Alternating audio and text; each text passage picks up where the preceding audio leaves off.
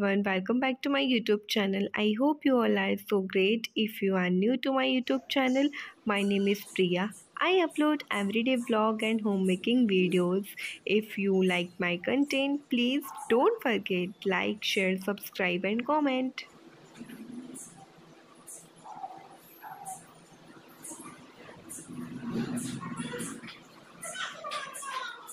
good morning to all of you सुबह का time है। सुबह के बज रहे हैं छः मैं उठ चुकी हूँ और यहाँ पे लॉबी में और बाहर का जो एरिया है, वहाँ पे सबसे पहले मैंने झाड़ू निकाल दी है।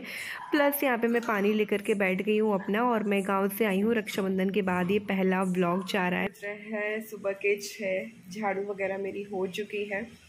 और मॉपिंग वगैरह तभी करूँगी जब श्रेय जो है चले जाएँगे। क्योंकि अभी करूँगी ना तो वापस ज्यों के त्यों हो जाएगा। तो अभी मैं मॉपिंग नहीं करने वाली हूँ। और यहाँ पे ना इतनी अच्छी ठंडक लग रही है लॉबी में और अंदर जाते ही वापस से इतनी भयंकर गर्मी, इतनी भयंकर गर्मी लग रही है ना। किचन में तो और भी ज़्यादा गर्मी लगती है भाई, क्योंकि खाना बनाना पड़ता है कभी कुछ कभी कुछ ऐसे। और यहाँ पे बाहर आके काफ़ी अच्छा लग रहा है अभी, क्योंकि ठंडक है बाहर। और इसलिए मैं बाहर बैठी हूँ अभी चेयर डाल के। श्रेय को मैंने उठा दिया है और वो जो है अपना हाइजीन रूटीन कर रहा है। फिर नहाएगा, धोएगा, ये सारी चीज़ें करके वो रेडी होता रहेगा।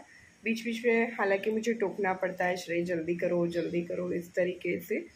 तो चलो, अब उसका लंच बनाती हूँ और आज ना मुझे अपने बालों में लगानी है मेहंदी, क्योंकि तो मेरे बाल ना हल्के से यहाँ पे, हल्के से कुछ बाल मतलब दो चार बाल यहाँ आपको दिख रहे होंगे और दो चार बाल कुछ यहाँ पे ना ग्रे टाइप के होने लगे हैं। तो वही मुझे रिकवर करने के लिए मैं मेहंदी लगा रही हूँ बालों में। मेहंदी वैसे भी अच्छा यू नो कहा जाता है कि मेहंदी बहुत अच्छी होती है। तो बस मुझे वही लगाना है और अभी सुबह सुबह सो के उठी हूँ तो आँखें भी एकदम सूजी सूजी लग रही है ना। चलो चलते हैं, काम करते हैं और श्रे का लंच बॉक्स लगाऊँगी। आज मैं लंच बॉक्स में ना उसके पराठे ही बनाने वाली हूँ, क्योंकि आलू के पराठे उसको बहुत पसंद है। काफ़ी दिनों से वो लेके भी नहीं गया और बीच में अभी तीन चार दिन का गैप हो गया ना स्कूल में तो अब आज उसको बड़ा आलस आ रहा है कि मम्मा आज भी मत भेजो ना, आज छोड़ो ना, कल जाएँगे इस तरीके से। आज वो ना अपना बड़ा स्लो स्लो काम कर रहा है, उसका मूड नहीं है स्कूल जाने का, और बच्चों को ना सुबह सुबह होता ही नहीं, क्योंकि यू नो सुबह इतनी अच्छी नींद आती है ना बच्चों को कि उनका मन नहीं होता स्कूल वगैरह जाने के लिए। तो चलो स्टार्ट करते हैं अपना काम, स्कूल की तैयारी। लंच बॉक्स लगाती हूँ और उसको रेडी करती हूँ। फिर मैं अपने बालों में मेहंदी लगाऊँगी। बाहर काफ़ी अच्छी हवा लग रही है, बहुत ज़्यादा।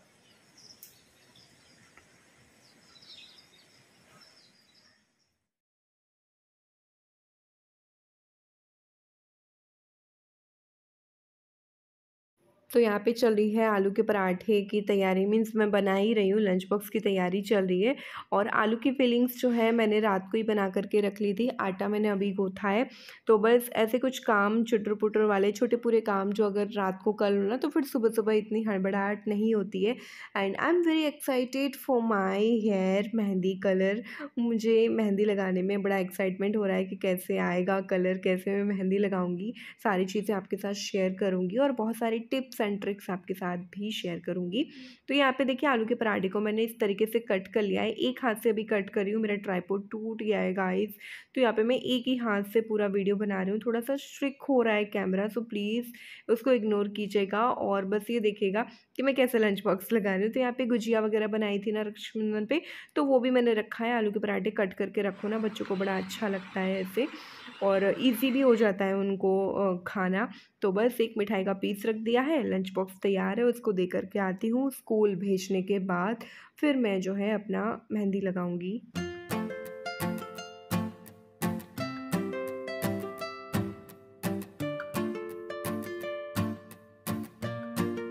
तो श्रेय के स्कूल जाने के बाद यहाँ पे मैं लग गई हूँ अपने बालों पे मेहंदी लगाने के लिए क्योंकि मेरा काम पूरा पड़ा है घर का।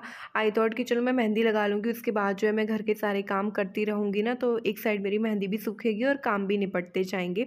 तो यहाँ पर मैं बालों पर मेहंदी लगा रही हूँ। And yes guys don't forget कि आप जब भी मेहंदी लगा रहे हो तो उसके पहले आप अपने बालों को अच्छे से कॉम्बिंग कर लो। मीन्स जो उलझे हुए बालों उनको अच्छे सुलझा लो। उसके बाद ही आप मेहंदी लगाओ और इस तरीके से आपको मेहंदी लगाना लगाना है। अच्छा अगर आपको जानना है कि बालों में मेहंदी कैसे लगाएँ, कैसे हम पेस्ट बनाएँ और मैं कौन सी मेहंदी यूज़ करती हूँ जिससे मेरा रिज़ल्ट बहुत अच्छा आता है, रिज़ल्ट भी मैं आपको इसी वीडियो में दिखाऊँगी। पूरा ब्लॉग देखेगा, आपको बहुत अच्छा लगेगा, बहुत सारी जानकारी मिलेगी। तो प्लीज़ मुझे कॉमेंट करके ज़रूर बताइएगा। नेक्स्ट वीडियो पर मैं ज़रूर बताऊँगी और पूरा वीडियो में पूरा पर्टिकुलर मेहंदी के ऊपर बताऊँगी कि कैसे मेहंदी लगानी चाहिए कौन कौन सी चीज़ों से पेस्ट बनाना चाहिए क्या क्या चीज़ें हमें याद रखनी चाहिए ताकि आपके बालों में कलर भी आए, काफ़ी अच्छे फ़ायदे मिले आपके बालों को, ये मैं सारी चीज़ें बताऊँगी बट यस सबसे पहले आप कमेंट करें, तब मुझे पता चलेगा कि हाँ आप सभी इंटरेस्टिंग हैं। मेहंदी लगा ली है, ऊपर आप देख सकते हो बालों में। और मैं बताऊँ, मैंने फ़र्स्ट टाइम मेहंदी लगाई है और लगाते लगाते ही आपको मेरे हाथ पीले दिख रहे हैं तो इस तरीके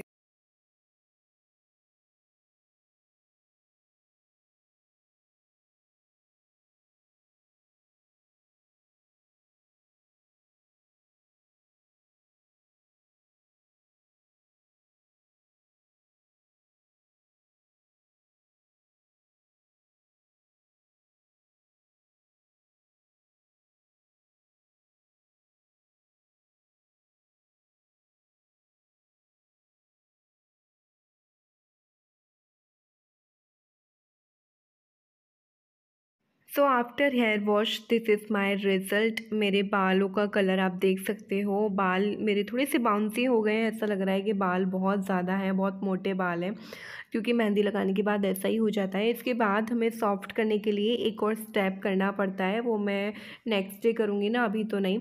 अच्छा जब भी मैं वीडियो डालूँगी तो आपको नेक्स्ट स्टेप भी आपके साथ शेयर करूँगी। गुड इवनिंग तो जी, मैंने अपने बालों का रिज़ल्ट दिखाया और काफ़ी अच्छे लग रहे हैं, बाल एकदम शाइनिंग कर रहे हैं।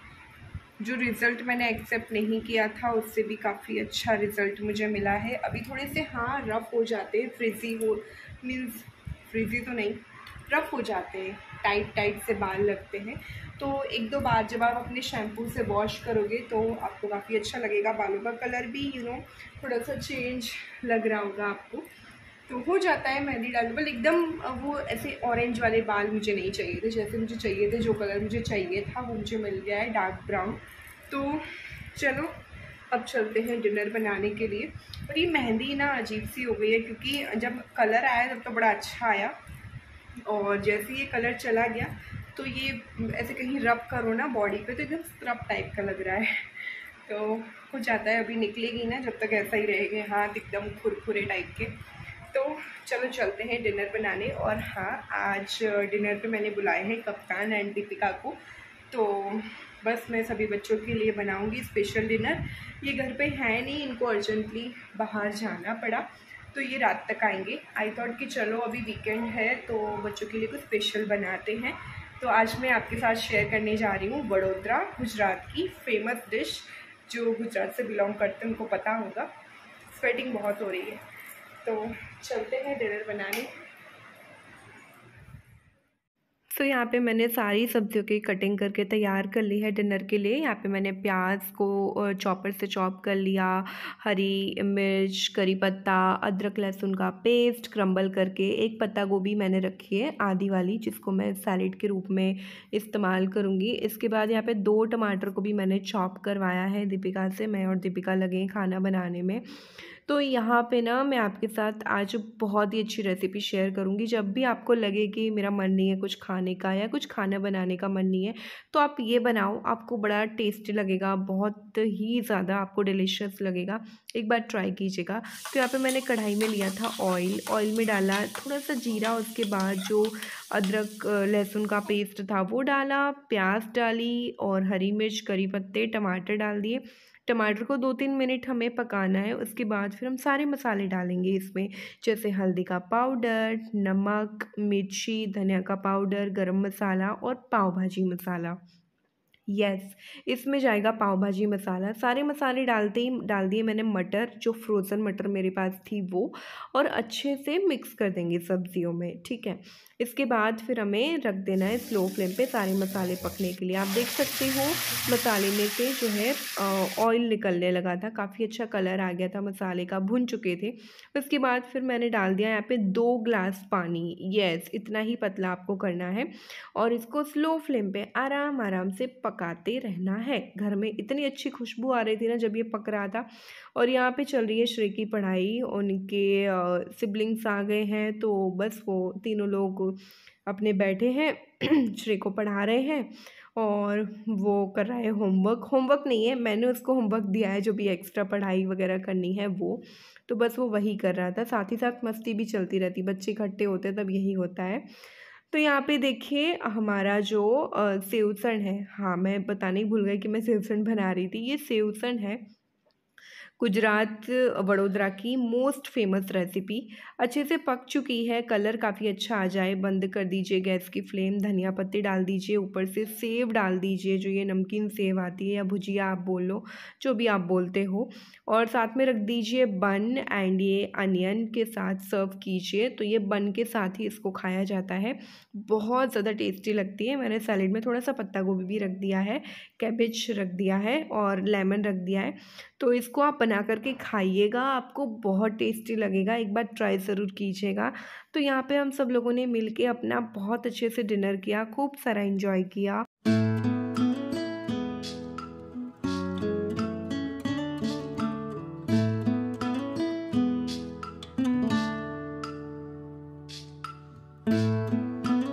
छत पे। Good evening to all of you और छत का नज़ारा बहुत अच्छा लग रहा है। और समर चल रही है तो यहाँ पे पानी भरा जा रहा है। एकदम आई, एकदम बोलने लगी तो थक भी गई हूँ। और मैं एक्चुअली बताऊँ, मैं क्यों आई हूँ?